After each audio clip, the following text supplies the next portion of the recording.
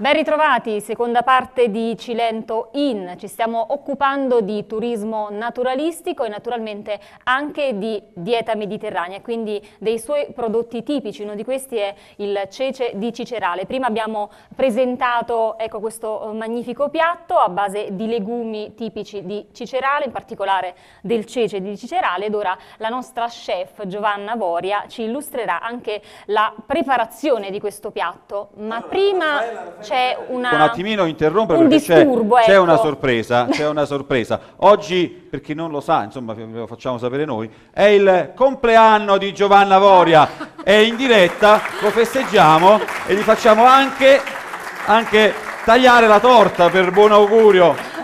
Giovanna, ecco che arriva assunta con la torta. Visto che sei Facciamo- sempre tu a preparare degli ottimi piatti e Eh, degli ottimi eh. dolci, tra l'altro, questa sera invece... Questa è, è una vera e propria sorpresa. Cioè, Maria De Filippi ci fa un baffo. Ed è ovviamente una torta tipica Eh, cilentana, eh, non poteva mancare. Ecco perché era così misteriosa, grazie. Abbiamo svelato la sua assenza, va bene. Grazie Auguri. Assunta. Grazie, grazie, grazie a Cilento Channel e a tutto lo staff naturalmente che ci permette, al di là del compleanno, ci permette di parlare di questa meravigliosa terra e delle sue eccellenze. Grazie, grazie anche a te Giovanna, di nuovo auguri, poi la torta ce la mangiamo con calma Con dopo. calma.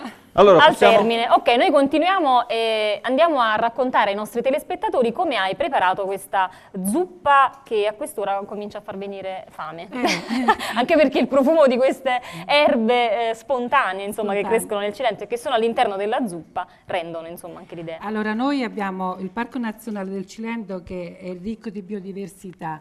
Noi purtroppo puntiamo, come dicevo prima, sempre alle carni, sempre ai prodotti già preparati e quindi noi, essendo patria della dieta mediterranea, abbiamo questa opportunità. Quindi evitiamo i cibi spazzatura e torniamo alla terra.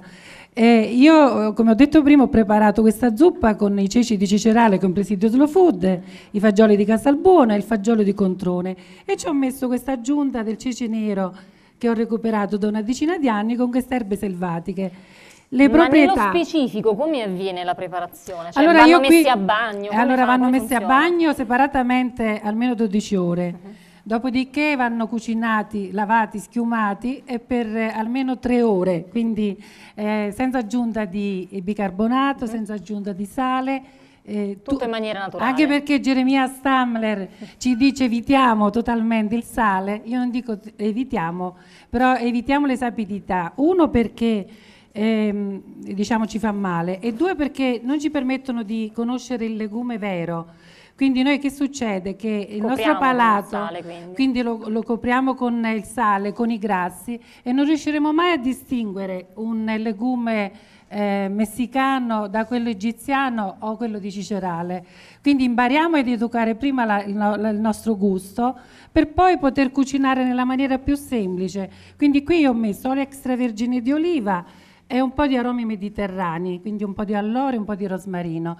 Eh, semplicemente quando abbiamo un buon prodotto, cucinato il più semplice possibile, un po' di olio extravergine di oliva, abbiamo fatto il piatto completo della dieta mediterranea. Che tempi di cottura ci vogliono? E per il cece di Cicerale tre ore ci vogliono. Come facciamo a distinguere il cece di Cicerale da un cece insomma, di un'altra Innanzitutto, località? come ha detto prima Assunda, è più piccolo eh, perché è in un territorio eh, dove è ricco di minerali, quindi naturalmente da disciplinare di slow food non è consentito né annaffiare e quindi resta comunque più piccolo. Ha la formazione più rugosa leggermente e poi la sapidità per natura. Bene.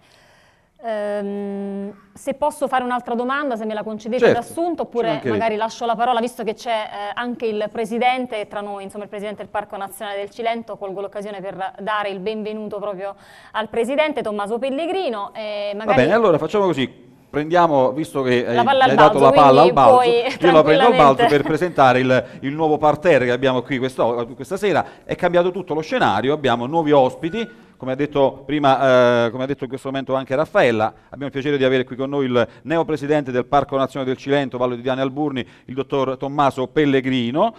Abbiamo anche poi al suo fianco un altro illustre ospite che è Mimmo Pandolfo che è il presidente della FIE che è la Federazione Nat- Nat- Italiana Escursionismo ed è anche vicepresidente della Federazione Europea Escursionismo. Quindi Mimmo Pandolfo è un- uno che sa di cosa stiamo parlando turismo naturalistico quindi chi più, chi più di lui. A fianco a Mimmo Pandolfo abbiamo il, eh, l'ingegnere Pasquale Di Perna che invece è il presidente dell'associazione eh, Gole Nord Calore di Piaggine poi invece dall'altra parte, a fianco al presidente, abbiamo una bellissima donna, Janine, Janine che è tedesca, non mi- il, il cognome non lo so, quindi poi Lo facciamo dire lei. facciamo dire Janine, a lei. presentati. Janine, Prego. il tuo cognome almeno, poi dopo...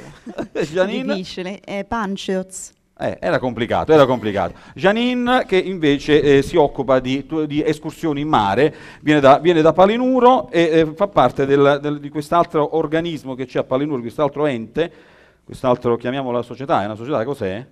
È una società che fa escursioni a Palinuro, si chiama il Quadrifoglio.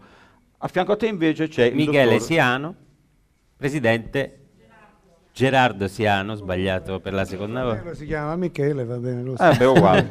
Non- non- non- Siamo amici, figurati, non ricordavo il nome. no. Va bene, facciamo così. Eh, È il facciamo- presidente dell'associazione eh, Dieta Mediterranea Pestum. Ho detto bene? Sì, stavolta sì.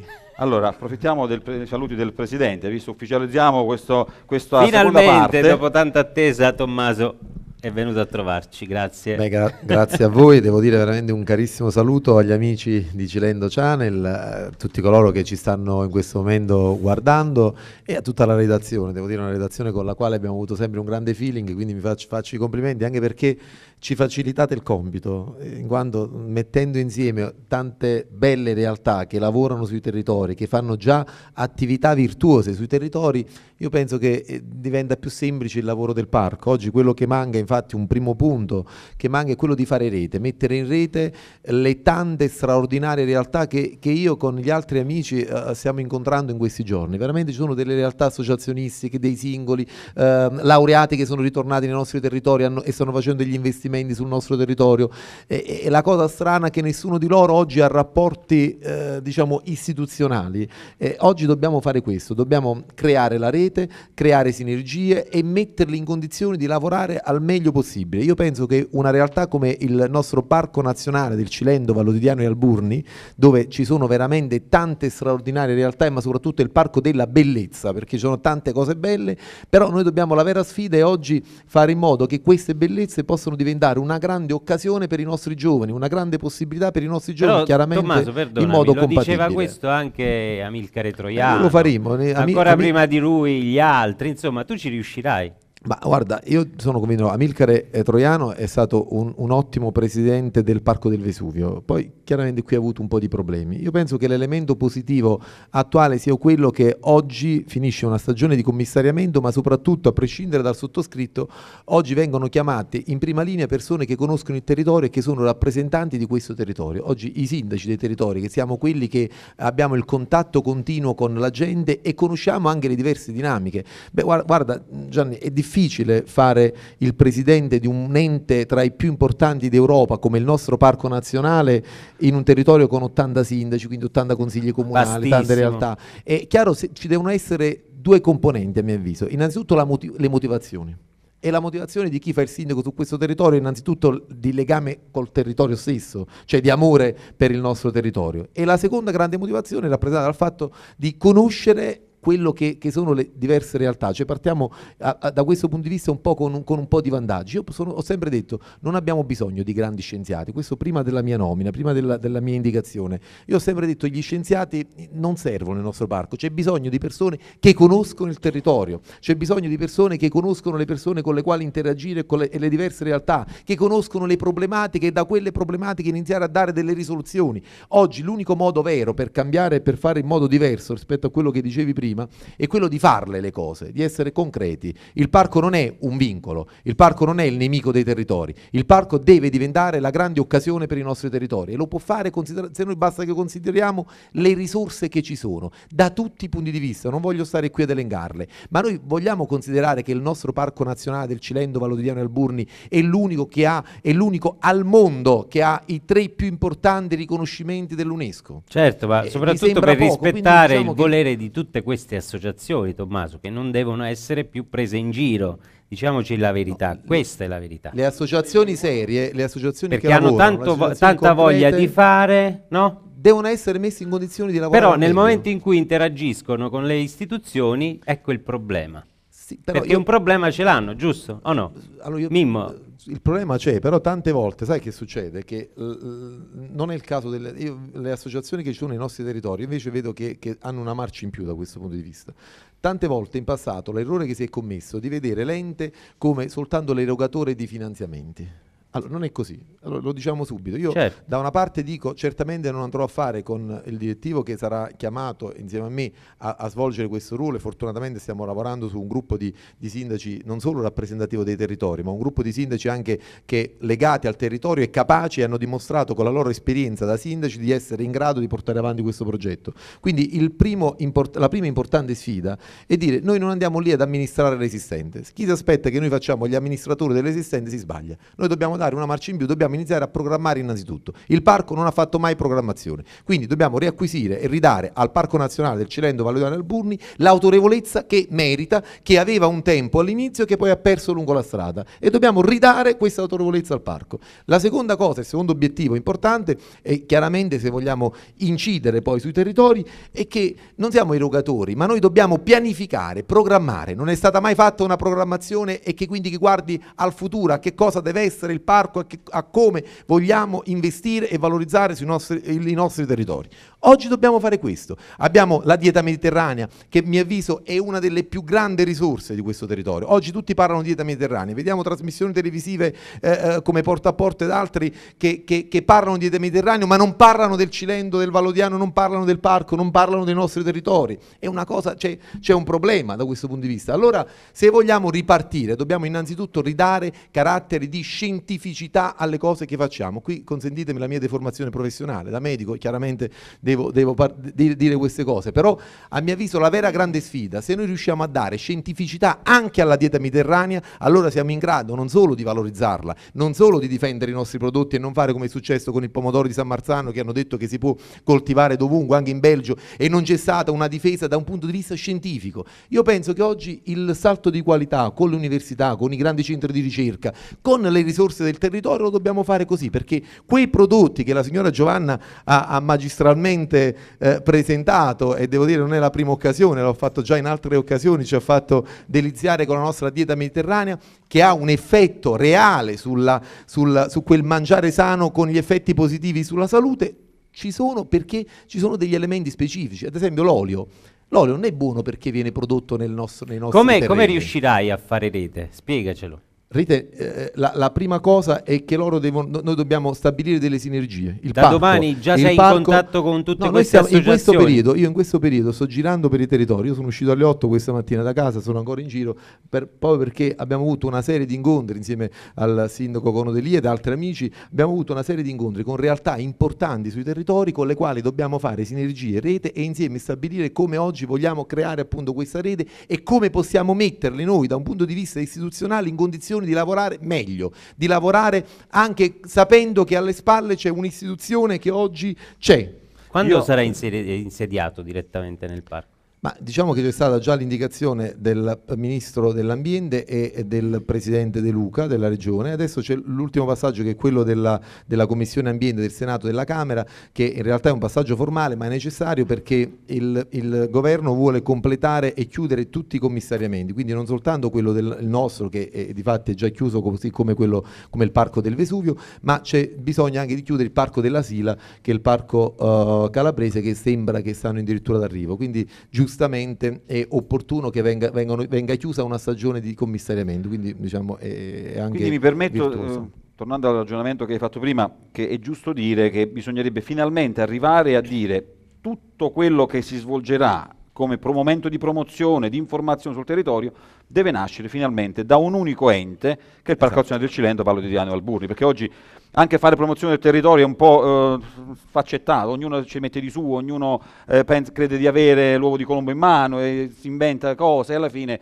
quello che dovrebbe realmente fare questo Deve essere il parco. deve essere il Assu- parco. Quindi il primo sì. obiettivo del Presidente sarà, Ma- ma per immagino, essere- quello di tutti i comuni insieme lavoriamo tutti per, per lo stesso essere un obiettivo. grande ente di promozione del territorio, noi ci dobbiamo prendere sei mesi per costruire questa rete in modo forte, costruire i servizi, perché poi eh, anche i grandi tour operator, no? Eh, noi non ci dobbiamo rivolgere ad un turismo di massa. Io penso che il nostro parco non è il parco del, del turismo, non possiamo competere. Chi viene dalla, dal, dai paesi europei, viene a visitare l'Italia, noi non ci dobbiamo mettere in competizione perché con Roma, Firenze, Venezia, che sono le mete più ambite dai turisti europei, il nostro è un turismo di grande qualità, di grande spessore. Allora dobbiamo investire e puntare su quelle forme di turismo, a partire ad esempio dal cicloturismo, che è uno degli aspetti importanti, e anche lì c'è un progetto straordinario che la Ecco, Via ne abbiamo Silente, parlato in questo che ne avete parlato, quindi, quindi, eh, è, è un altro oggetto che è, è inconcepibile che non possa avere un ruolo eh, istituzionale Certo. ed è inconcepibile che una rete eh, di cicloturismo all'interno del parco non abbia rapporto con l'ente parco. E penso che sia Perfetto, assurdo. perfetto.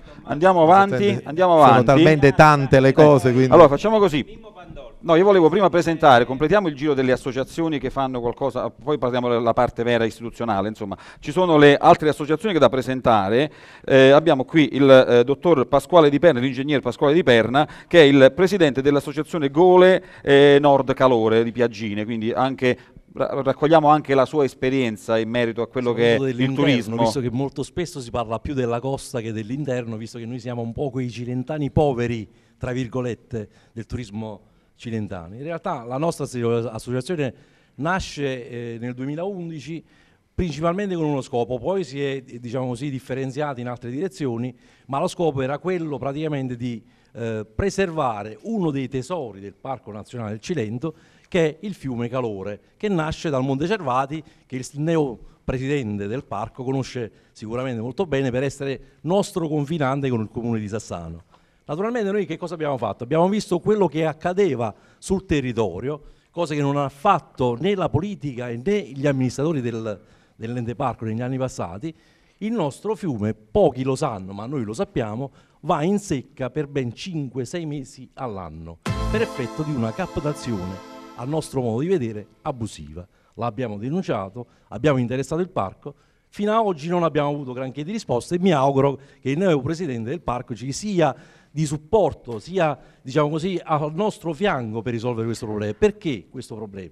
Principalmente perché noi riteniamo che queste potenzialità, che sono finora inespresse e non valorizzate appieno, sono l'elemento principe, cardine per poter fare turismo escursionistico, per poter fare eh, ambiente, per poter creare le condizioni ottimali perché noi possiamo veramente assurgere a livelli di parchi europei, cosa che attualmente non è. Ma in questo Allora, momento la, la- vostra associazione riesce già a fare qualcosa a livello di turismo escursionistico? La nostra associazione in questo momento propone i luoghi del Cilento interno come luoghi di visita. Naturalmente noi cerchiamo di fare, per esempio, noi ci eh, trattiamo l'area dell'Alta Valle del Calore e il Monte Cervati, stiamo cercando attraverso i media, Facebook, Twitter e via dicendo, stiamo cercando di far conoscere il Monte Cervati dove praticamente sul quale noi abbiamo la neve per 3, 4, anche 5 mesi all'anno e non è sfruttato appieno, nel senso che è conosciuto a pochi, pochi cilentani conoscono effettivamente che il Monte Cervati ha, che non- che non- che ha la neve per 5 mesi all'anno. Si fanno anche delle belle iniziative, la, la ciaspolata, Facciamo altre ciaspolate, cose che... esatto, esatto. F- Noi a Piegine fino a quest'anno, l'anno scorso abbiamo fatto la festa della neve, ma nel Cilento pochi lo sanno, quindi è un problema di Di comunicazione. chi è la colpa? Chi è che... Ma secondo noi è un poco di chi, giustamente come diceva il presidente del parco, è la comunicazione, il far sapere, il far conoscere la programmazione che attualmente è carente in tutte le direzioni per la valorizzazione del nostro parco. Se noi non abbiamo turisti sul nostro parco è perché principalmente si programma male, si fa conoscere molto poco quelle che sono le, le potenzialità del nostro parco e naturalmente non riusciamo a creare le condizioni perché i giovani possano restare avendo un flusso turistico molto più elevato rispetto a quello che è nella norma. Presidente, vuoi rispondere a questa... Io concordo pienamente, ma c'è da dire che non è che si programma male, non si programma, che è peggio ancora, quindi non è che, che ci fosse una programmazione, almeno io quando Gianni diceva prima eh, che cosa faremo, noi faremo, innanzitutto ci metteremo la faccia su una, su una serie di punti programmatici che, che vogliamo realizzare. È chiaro qui non abbiamo bacchette magiche, se qualcuno pensa che noi arriviamo e risolviamo tutti i problemi dell'area parco si sbaglia, perché questo è impossibile. Però certamente noi metteremo la faccia su un programma, su una serie di iniziative importanti che sono finalizzate alla valorizzazione valorizzazione soprattutto dei nostri territori. Il Cervati è una delle montagne più belle in assoluto in Europa, non in Italia, ed è una delle montagne meno conosciute paradossalmente in Europa, non solo in Italia, oltre che in Campania. Abbiamo anche le strutture, la verità è che lì non è organizzato nulla, cioè non- non- i servizi non sono organizzati. Noi come parco lì sopra abbiamo una serie di strutture del parco, degli chalet, addirittura anche adibiti, eh, sono attrezzate con camera da letto, con- con- con- con impianto di riscaldamento, abbiamo dei parchi avventura, abbiamo una serie di strutture che andare eh, in questi luoghi meravigliosi, perché da un punto di vista paesaggistico io penso sono tra veramente i posti più belli in assoluto che una persona possa visitare. È evidente se andiamo lì però e non c'è, questi servizi sono completamente abbandonati, non utilizzati, allora c'è un problema. Allora noi dobbiamo innanzitutto riempire di contenuti queste strutture, fare in modo che funzionino, fare in modo che possano essere da attrattori e soprattutto creare essere le condizioni per l'associazione come, come giustamente la- la- la- l'associazione del Presidente qui possono essere delle- del- de- de- de- dei punti di riferimento per, per le realtà. Allora dopo, dopodiché il secondo passaggio è chiaramente quello di, di una corretta comunicazione con gli operatori turistici ovviamente a livello nazionale per far sì che, che, eh, ci possa essere un'attrazione reale di queste strutture, però c'è bisogno di farle funzionare perché se non funzionano sono lì abbandonate e non abbiamo servizi. Dobbiamo superare queste- queste- queste problematiche. Volevo fare una proposta Permettere? Sì, vole- volevo fare una proposta al Presidente, cioè quella praticamente di cercare di bypassare quello che è il contatto con i cittadini attraverso eh, la chiamata a consulta delle associazioni del parco. Cioè il parco in qualsiasi direzione si voglia, diciamo così, eh, indirizzare e realizzare eventualmente un programma, faccia, crei una consulta delle associazioni del Parco Nazionale del Cilento, all'interno del quale ognuno di noi porta sicuramente le istanze del proprio territorio perché noi riteniamo di conoscere in maniera forse più profonda di qualche altro che magari fa politica e quindi riusciamo meglio a, diciamo così, ad avere le, le condizioni ottimali per fare una giusta programmazione. Proposta accettata, Allora, giusto facciamo- Tommaso? giusto per quota rosa. Aspetta, questa è una Eh, notizia, la- però la- perdona. la- l'amministrazione partecipata è stato sempre uno delle- dei, dei miei principi Ecco, nella, nella mia attività politica, quindi penso che fare una, eh, stabilire un'interazione con l'associazione e quindi attraverso la consulta delle associazioni che ho istituito è stato il primo atto che ho fatto nel mio comune, consulta delle associazioni, consulta dei giovani e, e il, e il forum delle donne, quindi penso che Lo ripeterai nel migliore, parco lo ripeteremo questa, nel questa parco, cosa. esatto. Allora, giusto per quota rosa, permettiamo un attimino a Janine di presentare le sue iniziative nel, a Palinuro, dove lei si occupa di escursioni in mare. Janine, a te la parola. Sì. Grazie. Ehm, io lavoro per... ehm, Il quadrifoglio. Esatto. Il quadrifoglio che si occupa di escursioni in mare, giusto? sì, Quindi hai- siamo live. Eh, cosa fate di bello nel, a Palinuro? Cosa, qual è la cosa più richiesta, naturalmente? La Grotta Azzurra, voglio immaginare. La Sì, grotta- certamente la grotta azzurra è certamente la grotta più ehm, famosa di Palinuro, però tutto il posto, la costa di Palinuro, è un posto impressionante. Fare il giro non, non si dovrebbe perdere nessuno. Tutti dovrebbero visitare Palinuro e soprattutto le bellezze del mare. Il Sì. turista cosa dice di Palinuro? Quando lo porti in giro per il mare, cosa, qual, è, qual è l'emozione che insomma, trasmette il turista? È un'esperienza unica, direi, perché mm, già mm, l'emozione di vedere Palinuro di un altro mm, punto di vista, di un'altra prospettiva del mare, ehm, e mm, ha il valore per venire, per venire a mm, Palinuro. Quali Quanti sono le difficoltà, Janine, che trovi per fare questa attività? Tu soprattutto che sei straniera, no? Quando sei arrivata in Italia, Sì. quali difficoltà trovi per poter fare in modo che la tua attività possa essere molto più produttiva rispetto a quella che è? Mi, mi immagino che sia così o no? Mm, Difficoltà, mm, certamente il turismo qui nel Cilento sta crescendo ancora, Ok, questo è però un dato sta a un buon punto e io penso che i turisti, soprattutto dell'estero, che scelgano il Cilento per eh, vacanze, sono persone che sono turisti individuali, che cercano proprio ehm, non solo la natura, anche la tradizione e un posto naturale dove si aspettano che la gente impro- deve improvvisare un pochettino. Che Qui così c'è molta improvvisazione, mi stai dicendo, a livello di turismo. Sì, c'è che una cosa molto simpatica però. Eh. Però è Eh, accettato, È è accettato. accettato. eh, Sì, sì, sì. Io direi Invece che le difficoltà proprio. le che- difficoltà, le difficoltà che attualmente tu abbiamo s- sono per me mh, eh, trasporti pubblici. che La viabilità in genere, quindi. Purtroppo eh, un turista che viene dall'estero dovrebbe venire con la macchina perché è difficile di muoversi. Diciamo, da- una volta arrivato a Napoli ha difficoltà nel raggiungere Palinuro. Vabbè, c'è la Cilentana che ha i suoi problemi, ci sono treni che poco arrivano, poco funzionano, mi stai dicendo, un po' tutti questi tipi di problemi. Sì. Vabbè, va bene, allora abbiamo presentato Janine, dopo naturalmente continuiamo a parlare con lei. Che vogliamo fare? Passiamo al dottore Siani, facciamo fare il saluto anche al dottore Siani o siccome c'è Giovanna che Deve andare deve via. andare via, volevamo un attimino chiudere l'argomento Cilento in tavola con eh, Raffaella, Assunta e Giovanna. Non, non lo chiudiamo, soltanto che abbiamo voluto una grande chef, quindi Giovanna Voria, eh, giustamente richiestissima da eh, tanti clienti, tante persone, tra l'altro anche il suo compleanno questa sera eh, e noi dobbiamo purtroppo eh, salutarla. Però prima di eh, lasciarla andare eh, le chiediamo, mh, sono tante insomma le ricette che Giovanna ha messo in campo e quindi ha fatto assaggiare un po' a tutti i cilentani ma anche a tanti turisti stranieri che vengono nel Cilento da ogni parte del mondo. Sono circa 200 le ricette che tu hai racchiuso in un libro. Sì, sì, sono circa 200 e cucinare con i ceci. Eh, quindi ho dimostrato che con il ceci si può fare dall'antipasto al dolce e con gambero rosso abbiamo vinto proprio il gelato, quindi è stata una bella soddisfazione. Anche i liquori, spesso facciamo degli abbinamenti cece e fico bianco del Cilento. Noi abbiamo nove presidi nel parco, di cui uno poi Assunta ne parlerà sicuramente, sarà recuperato. E quindi pochi, pochi sono eh, i luoghi dove una- solo nella provincia di Salerno sono nove, ma otto sono tutti nel Parco Nazionale del Cilento, Vallo di Diano e Alburni.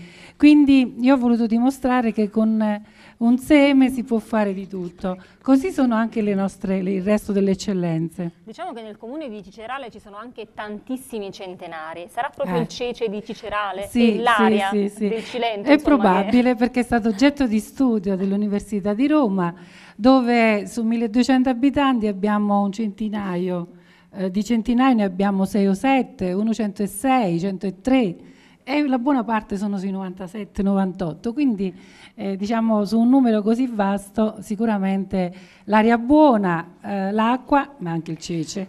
Prima di salutarci però mh, voglio farti un'altra domanda. Eh, tu oltre ad essere una bravissima chef sei anche un'imprenditrice, hai un agriturismo proprio a Cicerale, a Corbella, si chiama agriturismo Corbella. Eh, I turisti ti chiedono spesso dei laboratori che tu eh, svolgi all'interno proprio del tuo agriturismo e quindi da qui eh, l'avvicinamento di nuovo alle tradizioni, al mangiar sano, alla terra.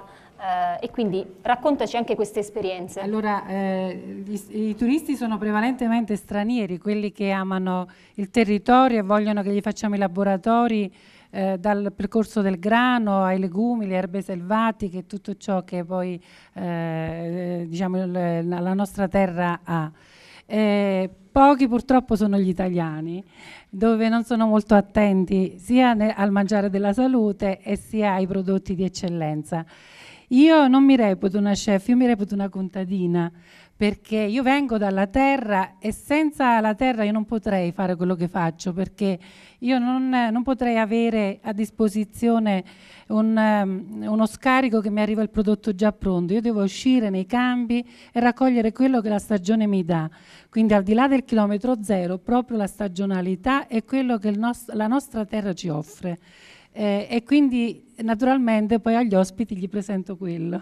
Tutto questo ti fa sicuramente onore e ti ha reso poi quella che sei, quindi una grande cuoca cilentana. Quindi farei un applauso a Giovanna Voria, Grazie a la ringraziamo, Grazie. sicuramente la rinviteremo in un altro appuntamento di Cilento In, sempre per parlare dei suoi piatti straordinari che vengono realizzati proprio con dei prodotti altrettanto straordinari che offre il Cilento. Grazie a voi. Bene, allora, dottore Gerardo Siano, questa volta ho indovinato il nome. Allora, eh, la domanda è questa. Tu hai, eh, sei stato qui ad ascoltare un po' tutte quelle che sono state le istanze delle associazioni che fanno turismo naturalistico nel Cilento. È il caso di abbinare in queste eh, manifestazioni anche un'enogastronomia da degustazione? Che cosa ne pensi? Lo allora, fanno- prima voglio saluto, buonasera a tutti e prima ringrazio naturalmente Cilento Channel per l'invito. Prima di risponderti volevo approfittare per fare gli auguri a Giovanna, a Giovanna Voria, buon compleanno.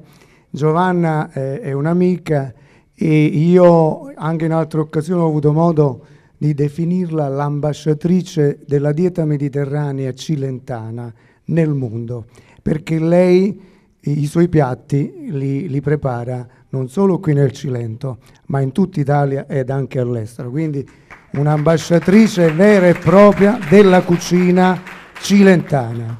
E ne siamo orgogliosi.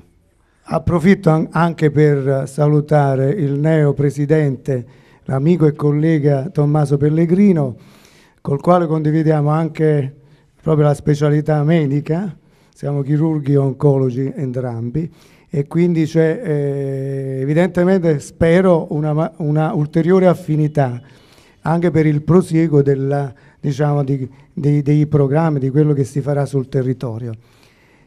Dunque la domanda, sì, tu mi dicevi se la dieta mediterranea poteva entrare in questo discorso dei percorsi naturalistici, eccetera. Assolutamente sì.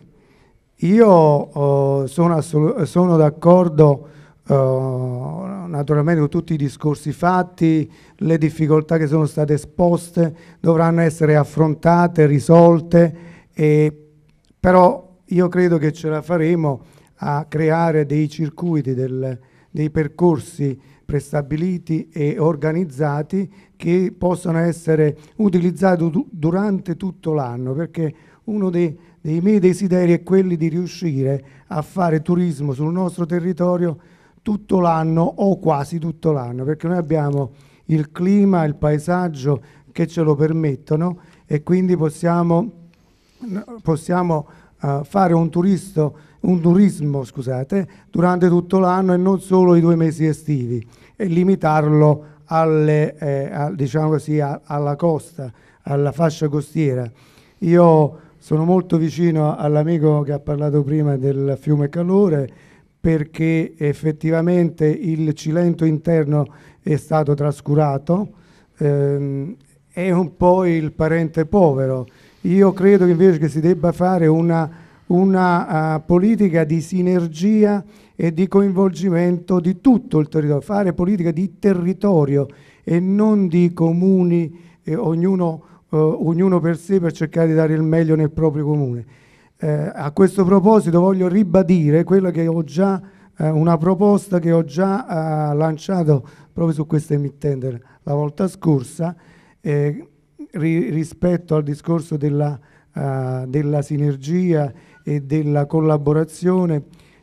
La, una consulta, mi fa piacere tutto quello che ha detto prima il Presidente, io propongo anche una consulta dei comuni cilentani i quali comuni cilentani devono, devono concertare insieme le politiche e, non solo le politiche, le politiche, economiche, le politiche turistiche, le politiche energetiche. Esiste già e, comunque, le politiche della dottore, eh, la comunità del parco che esatto, non si riesce allora a mettere io d'accordo. spero che finalmente con Dal 2010 il nostro, speriamo il nostro oh, neopresidente, sotto l'egida del presidente del parco, si possa realizzare anche questa consulta dei comuni. Benissimo, di... allora facciamo una cosa però, se no mm, rischiamo di andare troppo Mimmo oltre, anche altre due Io due devo volte. sentire ecco. Mimmo. Allora dobbiamo ah, parlare di turismo naturalistico. E allora, quale persona Sono più... anni ecco. che lo attendo nella Mimmo, mia Mimmo, Mimmo Pandolfo, che abbiamo detto, è il presidente della FIE, che è la Federazione Italiana Escursionismo.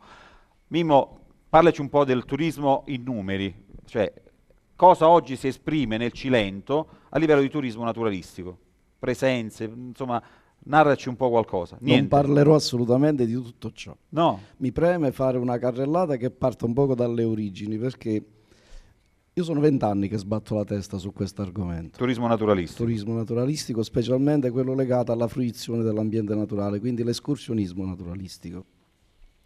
Con un altro pazzoide eh, ci inventammo nel 95 un compaesano del nostro presidente del parco, Giancarlo Priante, ci inventammo questa idea di camminare a piedi attraverso il nostro territorio.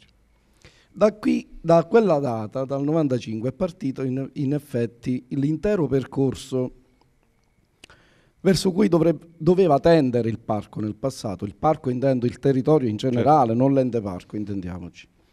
Eh, cosa che è stata man mano digerita, perché uno dei problemi che non riuscivo a capire, poi ci è voluto un po' di esperienza fatta in giro per l'Europa. Ho camminato a piedi un po' dappertutto in Europa, soprattutto nelle aree che sono maggiormente consolidate da questo punto di vista e quindi diventano destinazioni, diventano sistemi attrattivi per chi ha voglia di fare escursionismo naturalistico.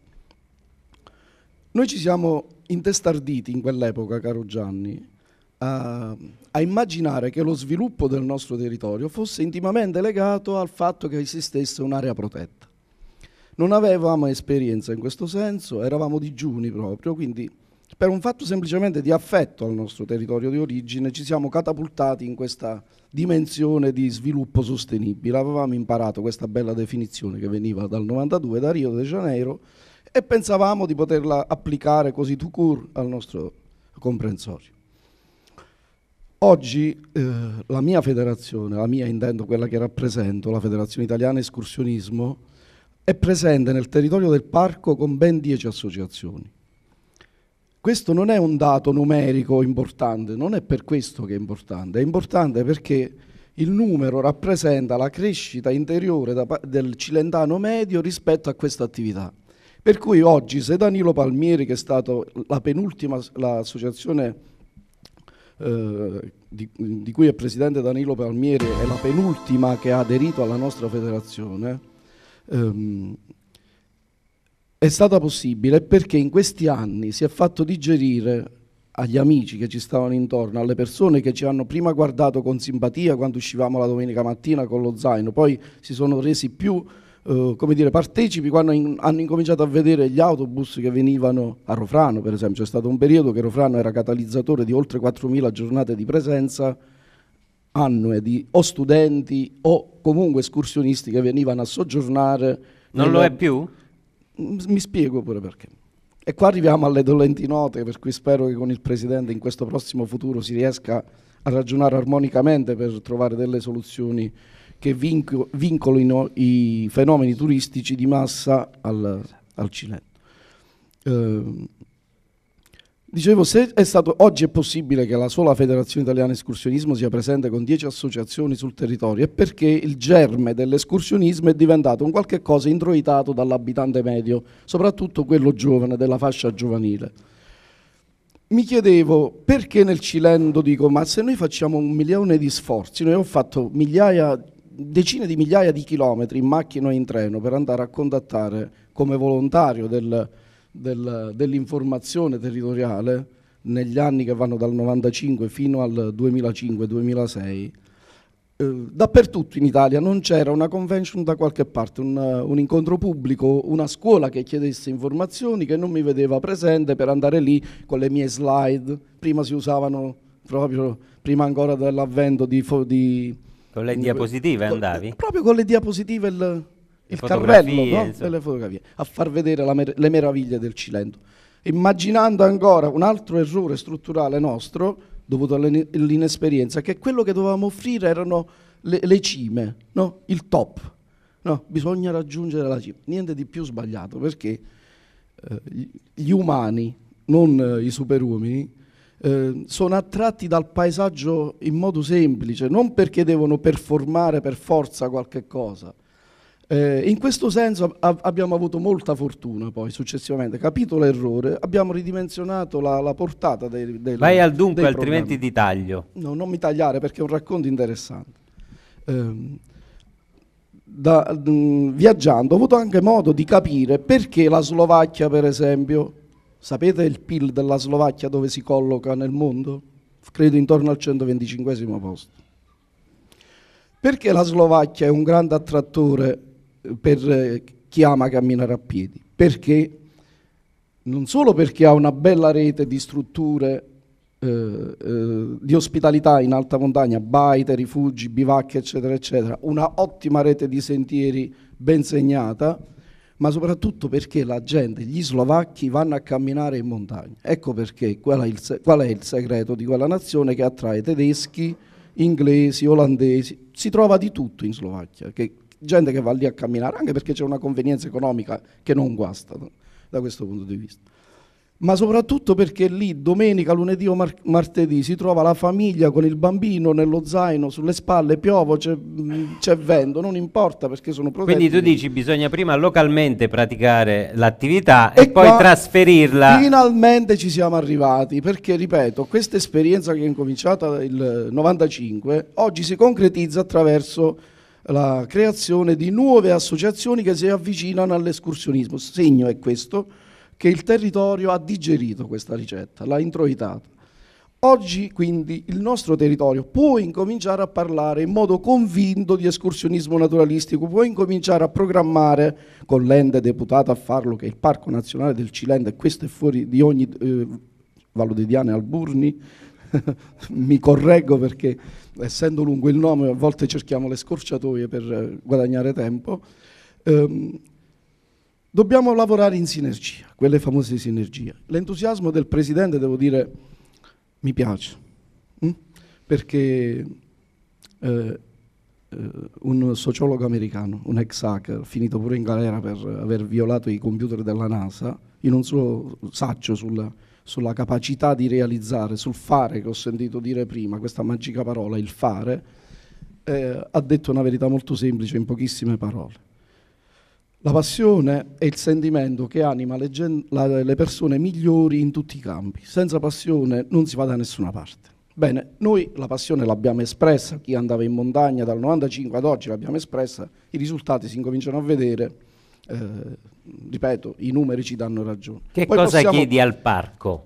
Stai prendendo parlare- troppo tempo, che No, cosa chiedi no, al parco? perché questa è pedagogica, questa cosa la dovete digerire, la devono digerire tutti, perché altrimenti rischiamo di, di- di chiedere, però senza essere convinti di che cosa dobbiamo fare.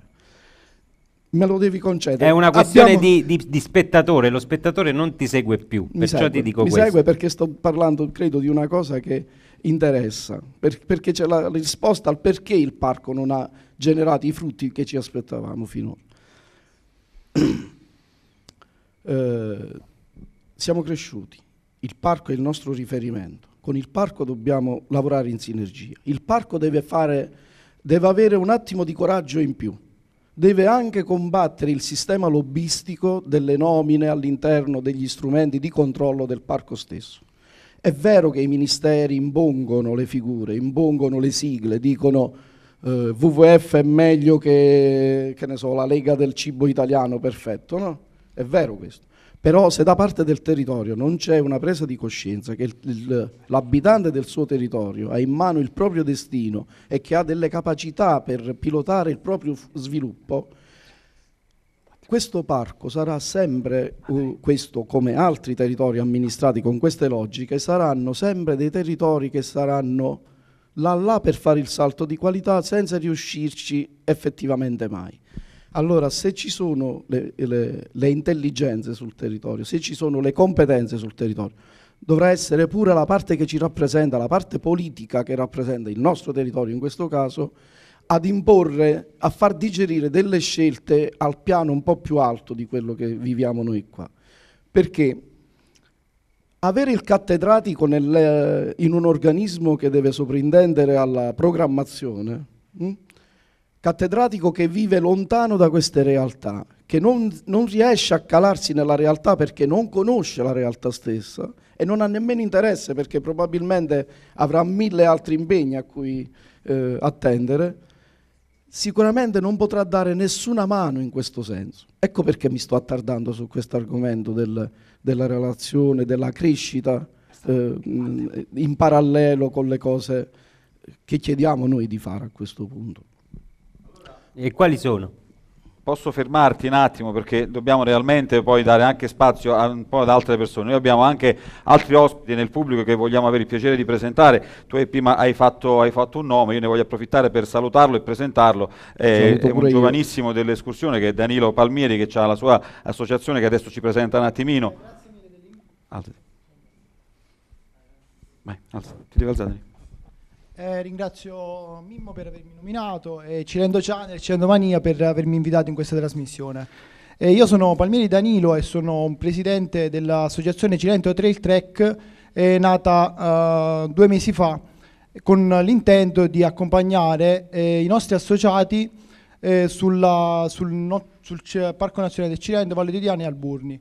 Noi come associazione stiamo battendo molto per eh, la parte interna degli alburni, del, degli alburni e del, del Cervati, non per sminuire la parte costiera del nostro Cilento, ma per dare un pochino di, un pochino, um, di visibilità, di in più a un territorio in interno. A un territorio interno. Infatti noi nessuno l'ha nominato, abbiamo uh, i Monti Alburni che hanno uh, le grotte e nessuno ha mai, eh, diciamo che nella, in, di noi, quelli cilentani e altri, ness quasi nessuno sa che um, abbiamo un uh, forte numero di eh, speleologi che vengono da queste parti e nessuno ha mai visionato questa situazione.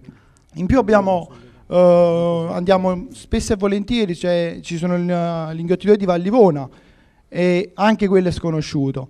E più volevo fare una domanda, scusate se sono un pochino emozionato, non sono abituato a parlare. Ci sta, ci sta, non dire qua, ci sta tutta. volevo fare una domanda, volevo approfittare dell'occasione eh, del, del, presidente del parco per chiedere, eh, nel, nel parco nazionale, in qualsiasi parco nazionale che si rispetti, eh, ci stanno delle figure che vengono, sono chiamate le guide del parco. E nel nostro parco nazionale del Cilento eh, l'ultima volta che è stato oh, fatto un, uh, un, bando, un bando, un qualcosa del genere, è stato fatto in 98-99. Da allora eh, non è stato fatto più niente per dare valore a questa, a questa figura. Per creare nuove figure, mi stai dicendo. Nuove, Ragazzi nuove... che vogliono avvicinarsi a, questo, a, a questa attività non lo possono fare perché non hanno non tanto, non tanto per i ragazzi, ma perché eh, i turisti che vengono, la prima cosa che fanno quando vengono a visitare un parco, eh, chiedono le guide locali, le guide del parco se si affidano a delle guide che non hanno, non so se non hanno mh, competenze o hanno brevetti, non sanno come a chi affidarsi praticamente. Quindi eh. diciamo tu stai chiedendo al parco se a breve attiverà qualcosa del genere. Presidente. Beh, io ringrazio Danilo per questa domanda perché è stata la prima domanda che ho fatto a, quando ho iniziato a prendere contatto un po' con la struttura del parco perché è chiaro che c'è un controsenso. Il fatto che oggi non ci siano delle guide, la prima cosa è, è avere un parco che è capace di far conoscere le proprie eh, realtà e le proprie bellezze. Stiamo già facendo predisporre un bando perché ovviamente le guide devono essere, bisogna fare il corso chiaramente per, per, le guide, quindi si sta lavorando al bando e mi auguro che a brevissimo venga pubblicato in modo tale possiamo avere eh, effettivamente oggi eh, è, da, è, da, troppo tempo che ci sono tanti giovani che oggi vogliono fare le guide del parco ma che si dedicano alla, alla, al parco e, e, a far conoscere i nostri territori ed è giusto che abbiano anche un riconoscimento come guide e, appunto diventano quei bracci operativi del, del, nostro, del, nostro, parco. Quindi si sta già lavorando al bando e mi auguro che a breve eh, inizierà il corso perché chiaramente sarà fatto un corso come, come si fa, ne parlavamo anche prima all'inizio della, della, trasmissione e quindi mi fa piacere perché mi hai dato l'occasione di dirlo qui a Cilendo Channel questa informazione. Grazie mille. Allora, allora, ci sono altre no, domande, un però. Eh? Solo, un attimo solo. Mimmo, eh, che cosa chiedete al parco? Poi andiamo in pubblicità e poi riprendiamo Stavolta con la terza parte. Prometto Però di essere devi essere sintetico. flash, esatto. esatto. Almeno dal mio punto di vista, dal, dell'attività che rappresento, ehm, credo che sia il momento in cui si creda strategicamente nella sentieristica. Mi spiego meglio. Un, un escursionista medio consuma ogni giorno dai 20 ai 30 km di, di sentiero, ma diciamo 20 per non andare troppo nello specialistico.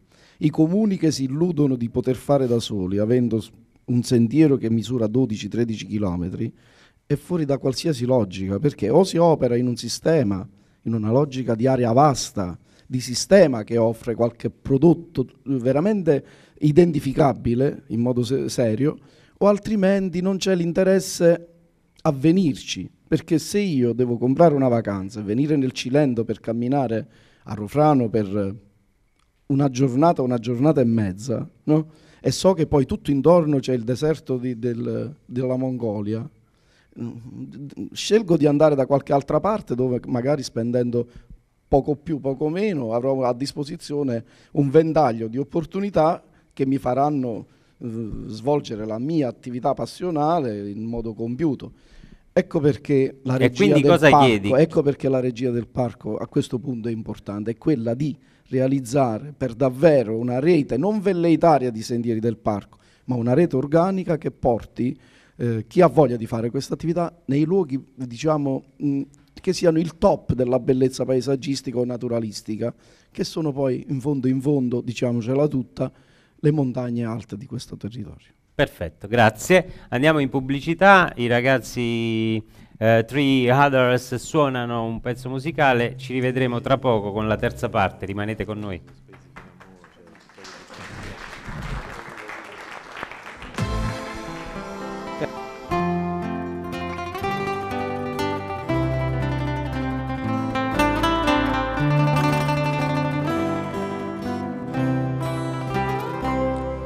Si fatta veste scullata, con le nastri e quel rosa. Stive miezza, tre o quattro, sciantosa, e parlava francese a così. Poi l'autriera cagaccio, contratta Fui l'autriera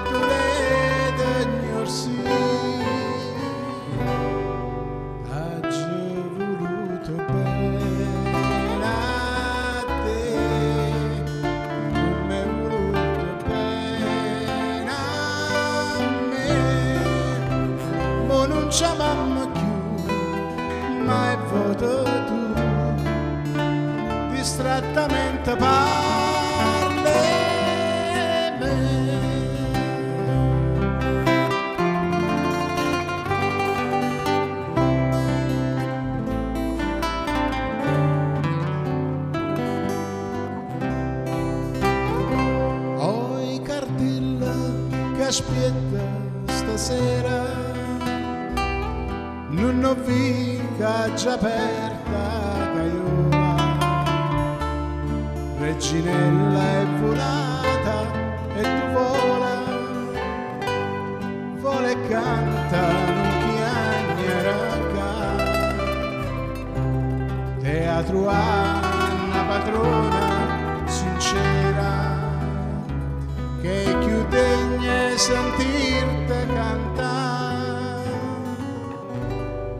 già voluto bene a te. Tu mi hai voluto bene a me. Ma non ci mamma più mai voto tu. Distrattamente parli